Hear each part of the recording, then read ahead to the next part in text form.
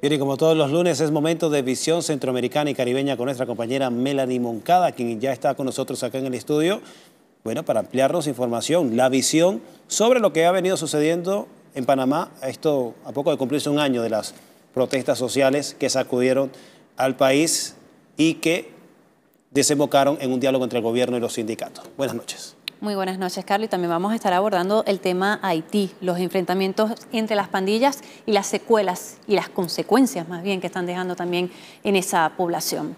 Las protestas sociales continúan en Panamá, así como también la caída de las expectativas sobre el diálogo entre el gobierno y los sectores sociales.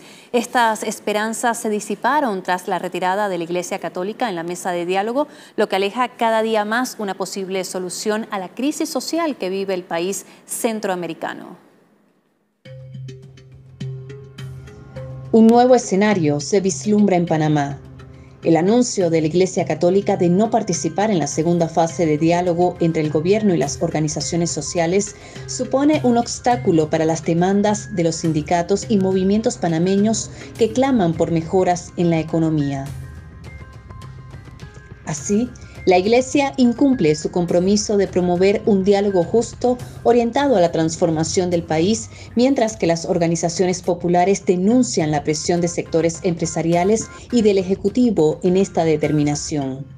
La Iglesia se comprometió en la mesa a que ellos iban a hacer el tránsito de la primera fase a la segunda fase. Y este comunicado que sale ahora simplemente nos dice a nosotros algo que vimos durante todo el periodo de la mesa y después de ella, de la primera etapa me refiero, la presión por parte del poder económico, el poder de facto del país. En medio de una campaña electoral de cara a las primarias del próximo 11 de junio, la inflación reina en el país centroamericano y los problemas se agravan.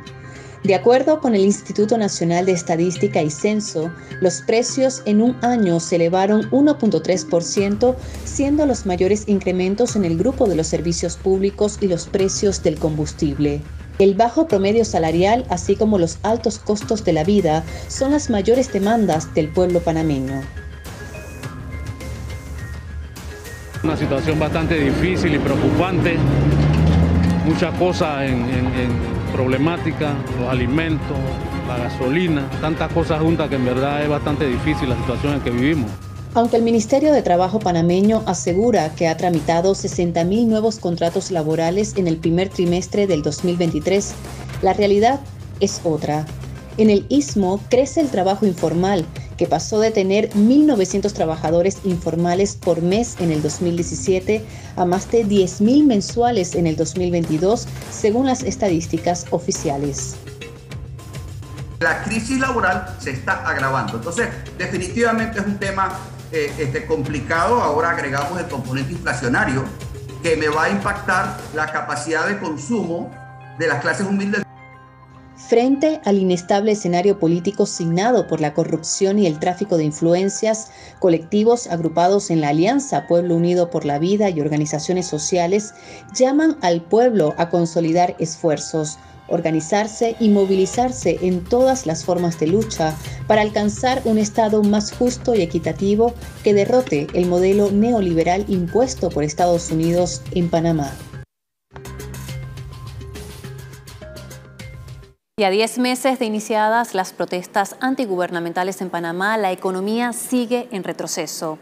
Mientras aumentan los beneficios de los grandes consorcios que operan el sector de servicios de demanda externa, el pueblo panameño padece la inflación y el desempleo.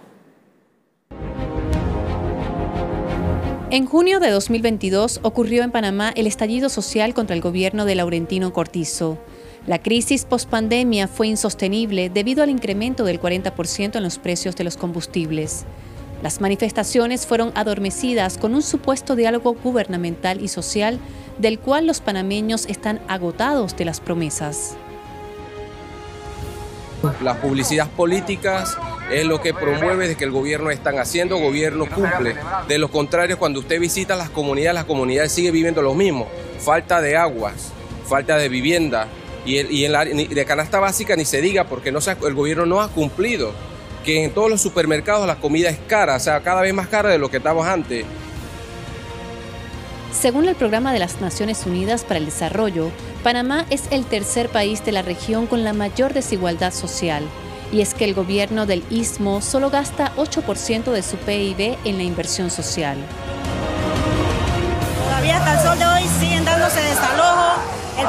Haciendo de la suya, dejando a la gente en la calle.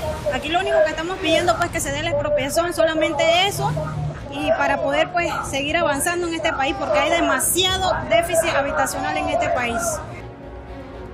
La elevada inflación en un año, el desempleo que ronda el 20% y una pobreza infantil del 33% de sus niños y adolescentes hacen que los panameños hagan más vigente esa indignación que estalló hace un año contra el gobierno de Laurentino Cortizo necesitamos hacer lo que se está haciendo en Francia. No podemos aceptar esto. ¿Por qué? Porque son parte de todas estas medidas económicas que se han venido imponiendo. Y en el caso de nosotros, desde el 2005, que hicieron una reforma y esa reforma ha sido un rotundo fracaso.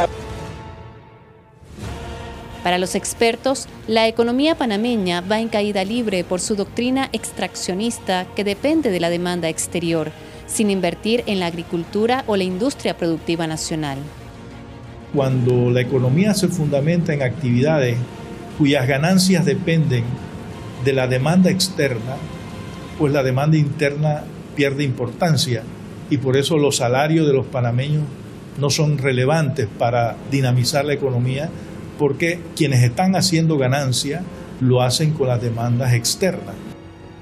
Y eso se suma a una agenda neoliberal arrodillada a los intereses de Estados Unidos y transnacionales canadienses y europeas.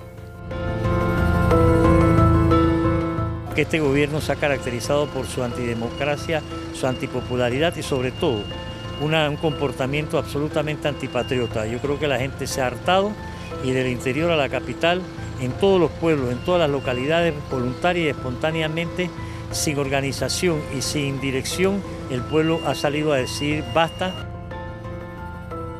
Pero a la tragedia social se suma el cambio climático.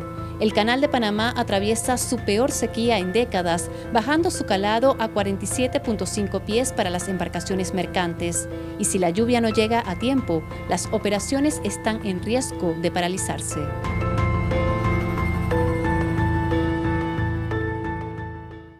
No podemos despedir nuestro segmento sin poner el foco en la delicada situación de Haití. La última semana ha sido una de las más sangrientas en la guerra entre pandillas.